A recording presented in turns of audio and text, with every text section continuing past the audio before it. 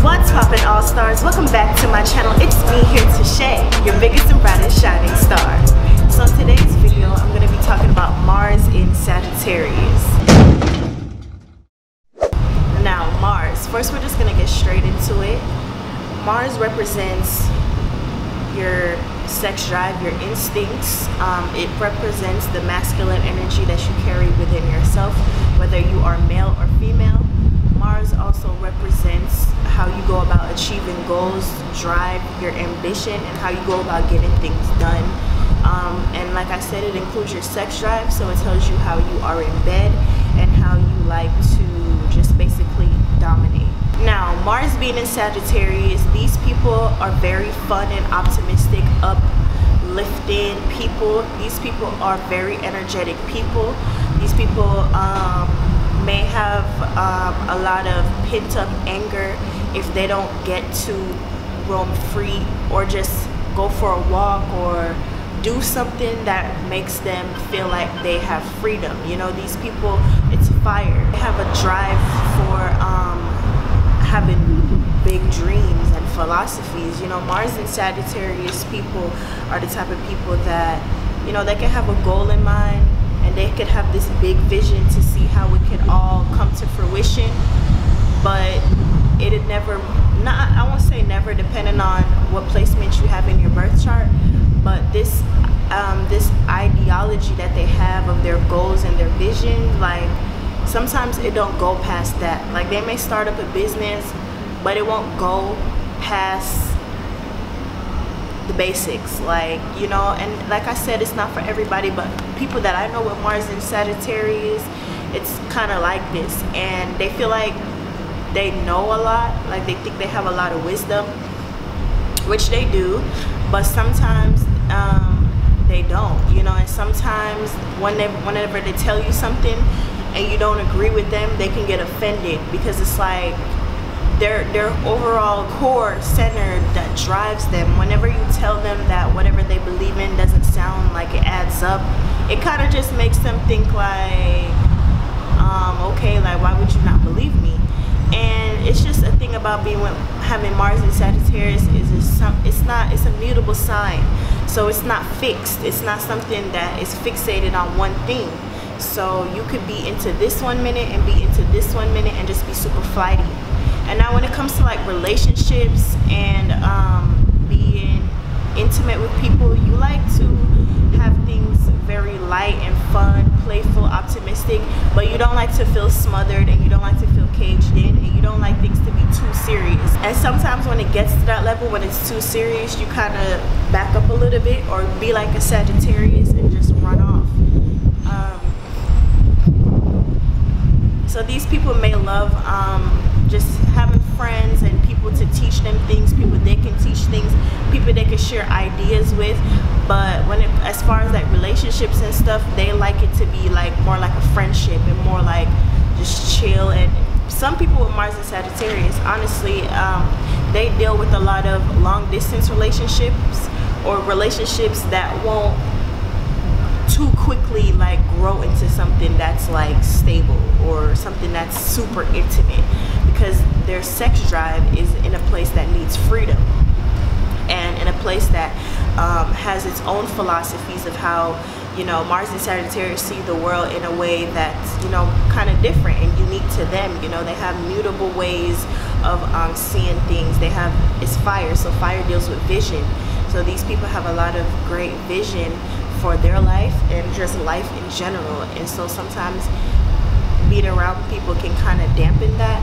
And so yeah. So these people they just have a very good way of just making you feel uplifted and excited. So when they have ideas it's very easy for them to persuade other people into doing things. Like when you see a Mars and Sagittarius come around and you know they got a lit idea it's just you want to you feel like you want to join them you know? And that's just the energy they carry. Like they're they're super um, motivational people. Um, I have my uh, my ascendant in Sagittarius, so I come off that way. Um, so these people are kind of preachy, you know, they kind of like to um, just tell you what they think and tell you like, you know, like da da da da, da what's best or in their opinion. And sometimes like I said, they'll get upset if people don't agree with them all the time, and it's because sometimes what they say don't really add up um, because it's mutable and it, the vision changes so often. Their vision of life and what they want to do changes. Like I said, even if they have a job and they want to, not a, like a job or like a career or whatever they're working on, it's not a fixed um, Mars placement. So it's gonna take a lot of envisioning for them to sit down and figure out what they want to do and then when they do start to stabilize things it just it takes a while for it to manifest into reality unless you have like capricorn taurus virgo a lot of other earth or you're around people that you inspire that help you to cultivate your ideas and ground them into reality.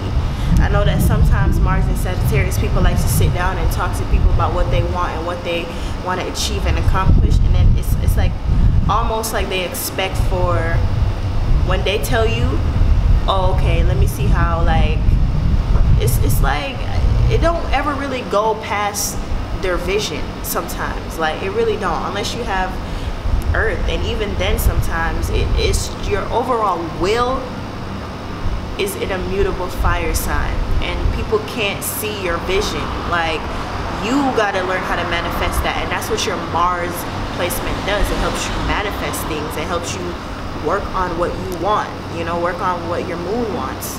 So it helps you to manifest what you want. So yeah like these people like when they get mad like i said they they get mad and they'll cuss you out and they'll tell you about yourself and make you feel a certain way.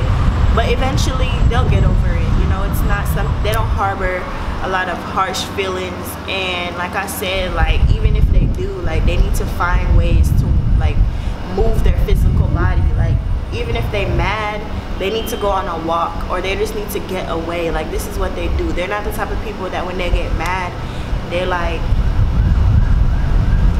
they don't their way they don't brood or like their way of getting over things is just to escape. Like they just want to escape real quick like go to walk go to the store and they just won't bring it back up because at that point like they felt like they got their freedom out the situation they over it. So it's like they don't even want to talk about it no more. And yeah so i would just like um, tell all mars and sagittarius people like if you have dreams ambitions goals um, it's it's very good to idealize it and like you gotta have vision obviously everybody needs to have a vision but your Mars being in this placement, it's gonna it's gonna take a lot of work. You're gonna have to use other elements, other tools in your chart for you to um, get somewhere and for you to you know do what you want to do. So if you help with this placement, please email me. We can do a natal reading for you and figure out these energies. Um, that's pretty much what I have for this video though. Like I said, please reach out to me if you do need help.